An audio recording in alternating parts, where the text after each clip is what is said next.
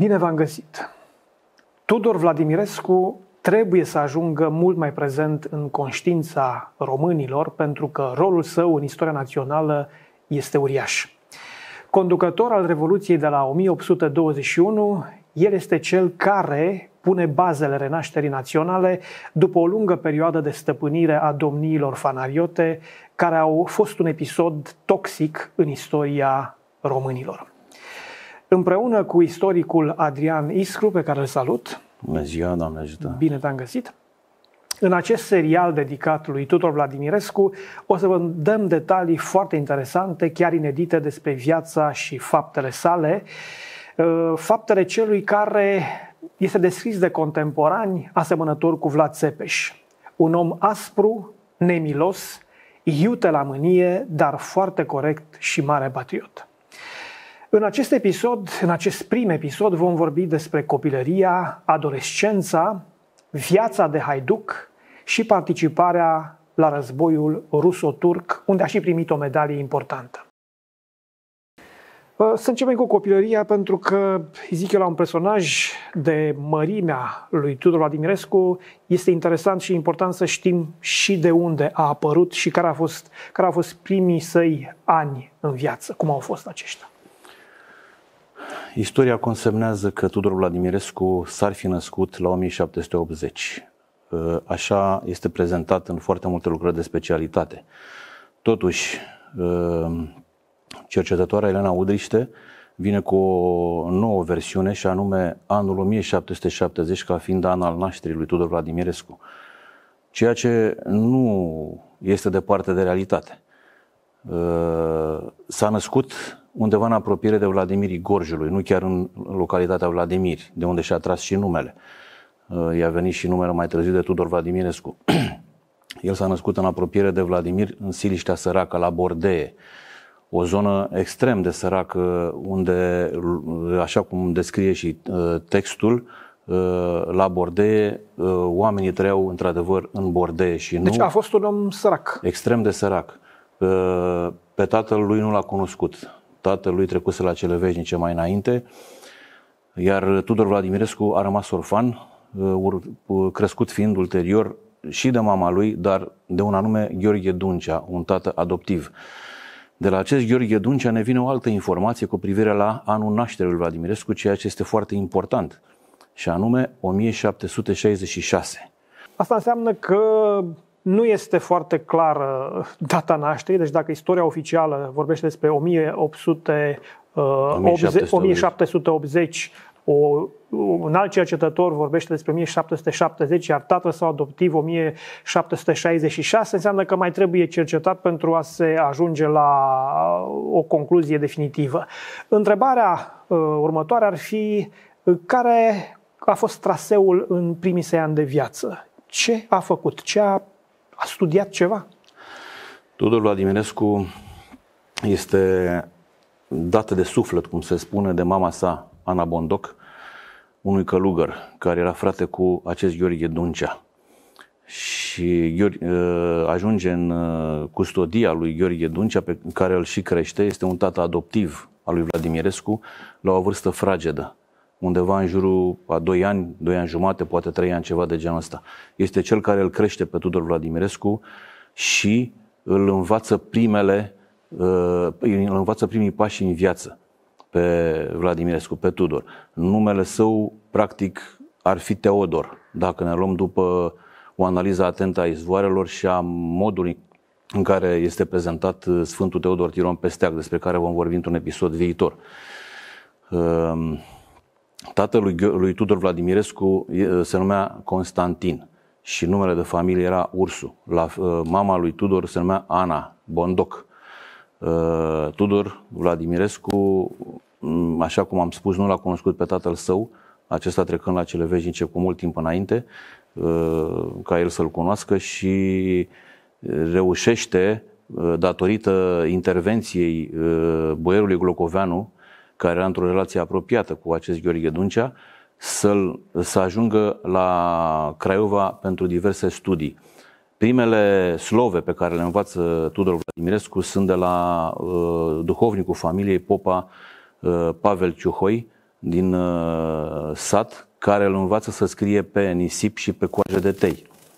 Uh, de asemenea, un alt, uh, să-i spunem, dascăl, un cunoscător al slovelor din sat este Moșu Zdroncea, care l-a învățat la rândul său să scrie și să citească toate slovele.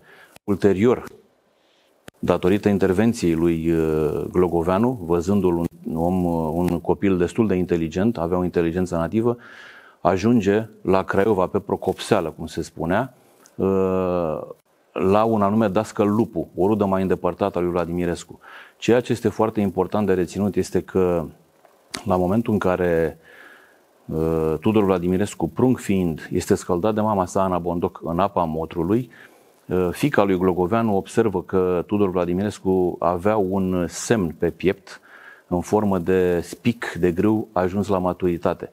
Această informație ajunge la boierul Glogoveanu, uh, care a ținut neapărat să vadă acest semn cu ochii lui. Și, într-adevăr, după ce a văzut acest semn, uh, are și o expresie care a rămas consemnată în istorie și anume Tudore, tu ai să ajungi om mare, ceea ce Tudor a confirmat mai târziu. Deci Tudor Vladimirescu înțeleg că atrage atenția pe inteligența lui acestui boier Glogoveanu, care îi finanțează, am putea spune, da, da. studiile din primii ani de școală da. Uh, și uh, se gândește că are un destin special. Cu toate acestea, la adolescență, el alege calea haiduciei. De ce un copil de 15 ani sau cât putea să aibă atunci, alege să devină haiduc. Da. Um, haiducia este o, să-i spunem, o instituție care apare la, nu a statului, ci o, o revoltă mai degrabă um, a populației locale și nu numai în Oltenia s-a întâmplat acest lucru, datorită exploatării extrem de grele în care se găsea țara și în care se găseau oamenii țării, oamenii de jos, care trebuia să plătească biruri imense către domnitor, către divan, biruri care se împărțeau, o parte mergea către poarta otomană, sub formă de haraci, iar o parte rămânea la dispoziția domnitorului, din care își plătea diversele uh, angarale. Vom vorbi într-un alt episod mult mai mult despre ce a însemnat stăpânirea fanariotă Acum, ca să dăm câteva detalii, să înțeleagă cei care ne urmăresc, că o perioadă de aproximativ 100 de ani, 105 uh, ani. Da, atât Moldova cât și țara românească au fost conduse de domni greci, veniți din Constantinopol, actualul Istanbul, trimiși de turci, dar veniți cu o armată de alți greci care au devenit boieri sau au fost boieri români care s-au grecizat ca să-și păstreze avantajele și așa mai departe. Și a fost o politică de spoliere totală a populației autohtone, ceea ce a dus la uh, sărăcirea cumplită a maselor de și români, umilințe extreme, iar uh, reacția populației a fost crearea acestor uh, trupe de haiduci care îi jefuiau pe boierii greci. Da. Și da. Uh, deci ajunge haiduc. Da, este, intră în cetele de haiduci la o vârstă destul de fragedă, probabil în jurul vârstei de 14-15 ani. Uh, era adolescent. Uh, nu puteai să intri în cetele de haiduci fără să ai o pregătire minimă Uh, fizică, pentru că... Și călărie. Și da, să... pentru că trebuia să știi să călărești, în primul rând, trebuia să știi să mănui o armă, o sabie. Armele erau destul de grele la vremea respectivă. și în același timp o rezistență fizică deosebită. Iar uh, perioada veacului, uh, sfârșitul veacului 18, început de veacul 19, aduce în atenția noastră o serie întreagă de haiduci locali Uh, cu precădere în Oltenia. Cei mai de seamă sunt uh, Andri Popa din Seaca uh, Dolj și Ian Cujianu, un prieten și un foarte bun apropiat al lui Tudor Vladimirescu, care va și participa mai târziu la Revoluția din 1821. Da, din câte înțeleg eu, din ce am discutat și înainte de emisiune, Tudor Vladimirescu nu a fost un simplu haiduc, ci a fost un fel de coordonator al da. cetelor de haiduci din Oltenia. Da era coordonatorul cetelor de La un moment dat, că sigur din, nu. Din Oltenia. Da, bineînțeles. Ehm, este coordonatorul cetelor de haiduci din Oltenia, era uh, un fel de staroste al lor. Ehm, era recunoscut ca un om extrem de viteaz, extrem de dur, dar extrem de corect. Portretul îl face Aricescu în lucrarea sa Revoluția Română din 1921, uh, foarte detaliat. El se evidențiază în mod special în războiul ruso-turc din 1806-1812, când uh, uh, ofițerii uh, ruși îl apreciau la superlativ, nu numai pe să el. Să vedem însă, ca să nu simplificăm atât de mult, cum a ajuns Tudor Vladimirescu, ce l-a motivat să intre în războiul ruso-turc dintre anii 1806-1812. Țara românească nu putea să dezvolte o linie de apărare împotriva armatei otomane, împotriva sultanului, sub nicio formă disputele între Imperiul Habsburgic, Imperiul Țarist și Imperiul Otoman erau dese. Erau uh, destul de dure și unele dintre ele se uh, duceau la confruntări chiar pe teritoriul uh, țării noastre, pe teritoriul țării românești. Având în vedere politica pe care o ducea și Rusia țaristă, având în vedere politica pe care o ducea și Imperiul Otoman vis-a-vis de țările române, singura modalitate prin care oamenii locului, oamenii patrioți puteau să reacționeze era alierea cu cei care aveau un minim de dorință de a stăvili armatele otomane și de a înlătura cât de cât prin aceasta uh, stăpânirea fanariotă din țara românească. Evident, rușii nu urmăreau acest lucru, stăpânirea fanariotă să fie înlăturată. Nu interesau deloc acest aspect. Interesa doar în ideea că ar putea să pună ei stăpânire Evident, pe țările românești. Asta era adică și, nu da. să elibereze poporul român și zică, na, dezvoltați-vă singuri. Asta era și obiectivul, acesta era și obiectivul da. Imperiului Țarist, cum a plecat din veacul XVIII și vom vorbi despre treaba asta puțin da. mai târziu. Dar uh, singura modalitate de a reacționa era încorporarea și lupta alături de o altă putere împotriva Imperiului Otoman.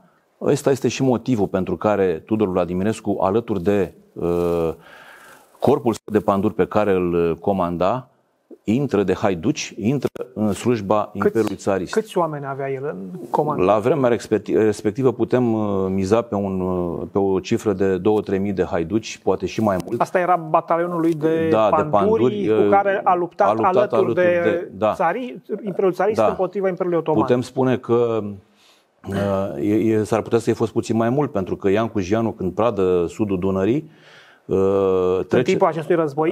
Uh, da, și în timpul războiului, dar și mai înainte, trece Dunărea cu aproximativ 2-3 mii de haiduci, ceea ce este foarte important. Uh, și eliberează foarte mulți oameni de acolo, din zonă. Îi trece peste Dunăre o parte dintre ei. Dar da. Tudor Vladimirescu se presupune că avea un număr cu mult mai mare. Iar această cifră este confirmată ulterior Revoluției din 1921, când Tudor Vladimirescu reușește să adune în jurul său aproximativ 12.000 de panduri. O parte dintre ei, o mie despre care vom vorbi iarăși puțin mai târziu, uh, proveneau din Ardeal.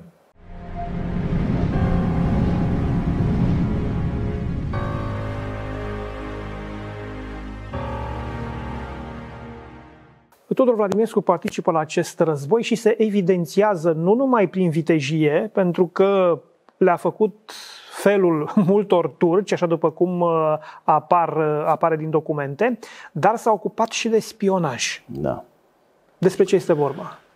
În misiunile pe care le-a, le-a avut uh, în primire de la comandanții ruși, în afară de uh, ofensivele în care erau trimiși sau defensivele pe care le organizau împotriva Imperiului Otoman sau în, în luptele cu armatele Imperiului Otoman, uh, Tudor Vladimirescu primește și misiuni de uh, spionaj în dispozitivul inamic. El este cel care și finanțează o parte din aceste uh, acțiuni de spionaj, unde obținerea de informații din dispozitivul inamic erau extrem de esențiale. Și să, yeah. să mai spunem, pentru că lumea se va întreba, bun, finanțează, pe ce era, avea bani? Da, la acel moment avea bani pentru că el făcea comerț, uh, era un crescător de animale și făcea comerț cu animale până în Balcan sau până la da. Viena sau Pesta, da. uh, viitoarea Budapesta. Da.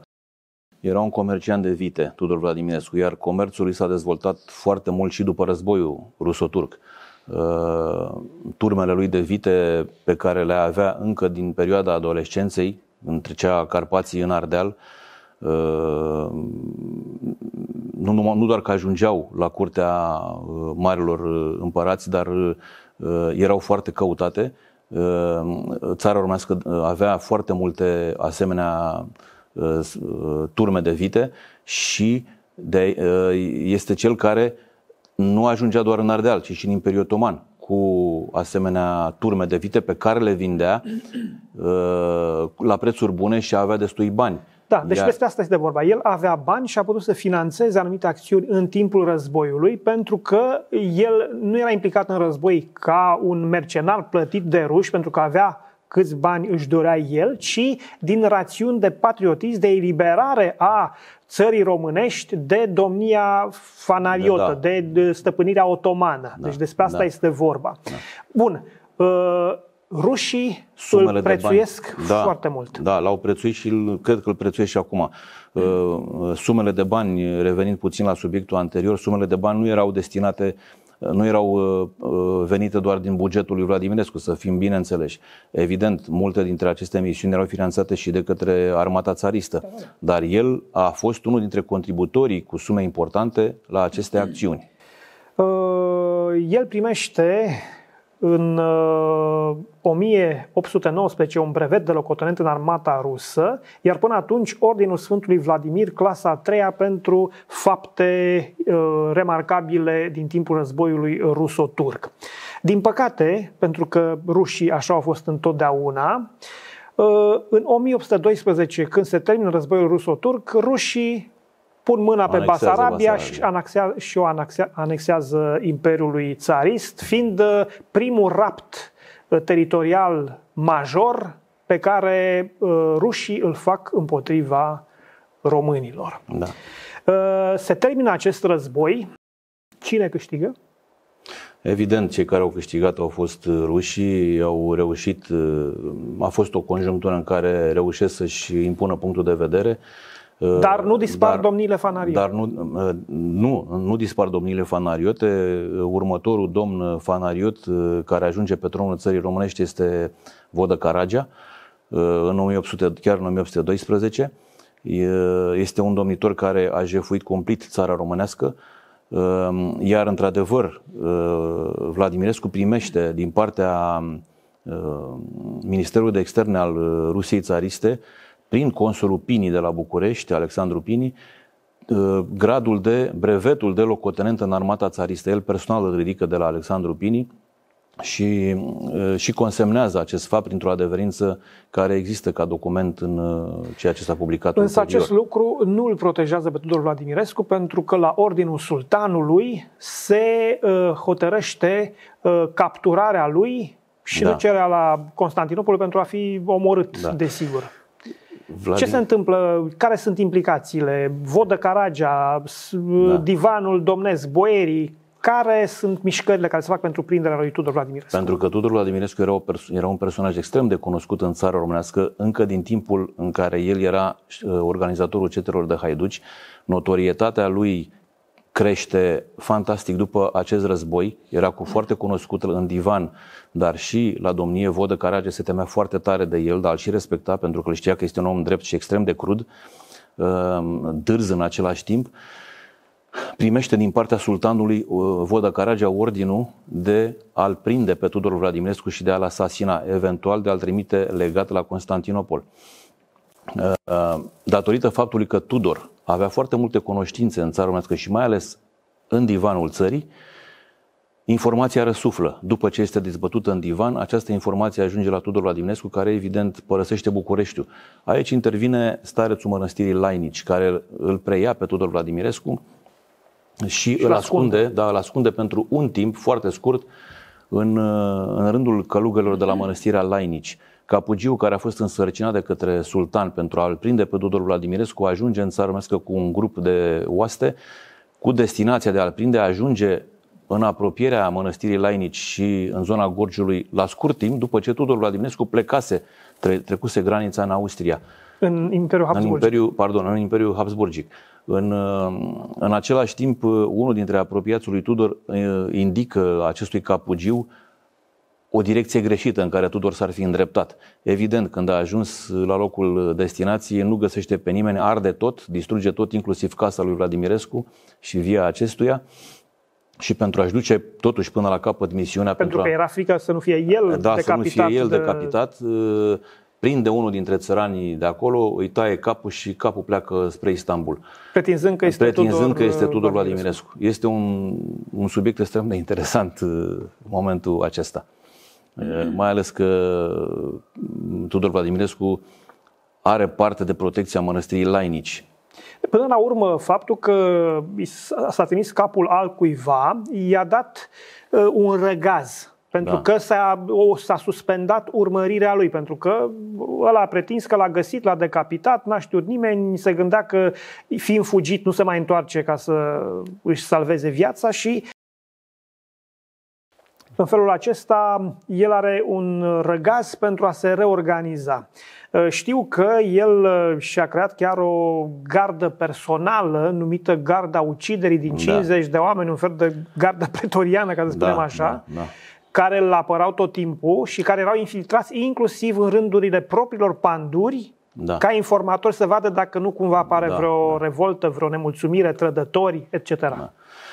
Este momentul în care ne apropiem deja de anul 1821. Tudor Vladimirescu știa ce va urma să vină, pentru că era într-o relație permanentă cu boierii făgăduiți uh, care îl susțineau și așteptau clipa în care revoluția pe care ei o pregăteau și Tudor participa la această pregătire în mod direct. Vom vorbi despre aceste da. aspecte în un alt episod când vorbim despre da. pregătirea da. Revoluției. Și atunci, în, aceast, în vederea viitoarelor evenimente, Tudor își constituie această gardă de corp din cei 50 de panduri foarte devotați, conduși de un anumit Chiriac Popescu, Uh, și Asta înseamnă că pe oriunde mergea, era erau 50 de da.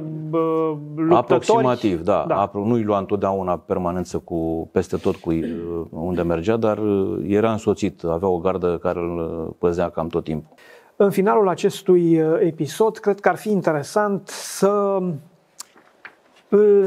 să aflăm cum arăta Tudor Vladimir, cum era descris de contemporan. Așa cum am spus eu, era perceput ca un om aspru, da. uh, nemilos chiar, iute la mânie, dar în da. același timp drept și patriot. Da. Uh, înțeleg că în această carte da. scrisă de uh, Aricescu se găsește o descriere, o descriere lui Tudor Vladimirescu. Vladimirescu. Te rog în finalul da. acestui episod să ne o prezinți. Cu îngăduința de a-mi uh, permite să dau două, trei citate legate de Tudor Vladimirescu. Da. Primul se referă la uh, ursita lui Vladimirescu, pe care o avem consemnată și trebuie precizată, și anume că vei fi mamă voinic, spaimă pentru venetic, că vei fi mamă om drept, ca inima mea din piept și vei fi mamă om mare, cum n-a fost nimeni sub soare. Este una dintre ursitele lui Vladimirescu. Din timpul vieții. Din timpul, da, evident. Uh, culeasă din zonă. Uh, de asemenea, una dintre, iarăși, uh, afirmațiile pe care uh, Aricescu le face legat de Tudor Vladimirescu uh, și le consemnează. Este aceea că desele conflicte pe care le-a avut cu Imperiul Otoman, cu armatele Imperiului Otoman pe teritoriul țării române sau trecând Dunărea sau în zona Balcanilor, în orice caz, uh, inegale în esență, Adică întotdeauna tot Vladimirescu sau General era în inferioritate numerică, numerică față de armatele. Și a scăpat de fiecare de dată. fiecare dată, da. Și Aricescu are o precizare extrem de interesantă adresa lui, care spune așa, Dumnezeul românilor îl conserva negreșit pentru scopul cel sfânt al eliberării acestui popor martir. Extraordinar. De asemenea, una dintre zicerile lui Vladimirescu de care care, pe care pe mine m-a atras în mod special este când Vladimirescu pierde unul dintre procesele pe care le avea pentru boierul Glogoveanu la București, la divanul țării și ieșind din divan se adresează uh, cu o furie teribilă boierilor divaniți spunându-le în felul următor pe unde pun azi cocoanele voastre panglicile vor pune oltenii mei curelele opincilor. Sunt aspecte care le privesc în mod direct pe Vlad Eminescu și demonstrează caracterul acestuia, dârz, neînfricat, nemilos. Și acum, pentru că ai pomenit despre portretul lui Tudor Vladimirescu, să-l citim după Aricescu, așa cum este el precizat încă de la 1874, iar mărturile sunt venite din epocă. Și anume, Tudor era bărbat serios și gânditor, om drept și energic, activ și sever, uneori crud și chiar răzbunător, scurt la vorbă și bogat la minte, zicea Dumitru Cățel din Cerneți, un bătrân ca de 80 de ani, unul din capitanii de pandora lui Tudor. Niciodată nu l-a văzut nimeni râzând. Numai odată se zice că l-a văzut zâmbind, doi confidenți ai săi, Gârbea și Miu. Statura lui Tudor era de mijloc, era un om legat, cum se zice, și de o constituție robustă. Culoarea părului și a mustăților era galben castaniu, iar părul era dat pe spate, în formă de chică scurtă. Lăsând aici se vedea ceafa rasă, fruntea lată și încrețită, sprângene groase și cam lăsate pe ochi, ochii căr- căprui, cu o căutătură cruntă ce însufla respect și frică. Fața smeadă, cam prelungă și cam grăsulie, nasul drept și potrivit, gura bine făcută, mustața groasă și tunsă lăsată pe buze, bărbia cam rotundă și un negru, un, ne, un negu pe umărul stâng al obrazului. Portul lui Tudor în timpul, în timpul Revoluției era în cap căciulă dreaptă și înaltă, de hârșie neagră și cu un fundul de postav alb. Peste cămașă purta pieptar cu șireturi negre și descrierea uh, vestimentației continuă, nu mai insistăm asupra ei. Da. În uh, lucrarea lui Arecescu sunt toate aceste date care, în opinia mea și nu numai a mea, a istoricilor uh, pe care am avut până acum și profesorilor mei, această lucrare este Biblia care se raportează la 1821 ca prim document. Carte care trebuie editată. Da. Ne oprim aici pentru primul episod. Rămâneți alături de noi. În curând, episodul 2 din viața și faptele lui Tudor Vladimirescu.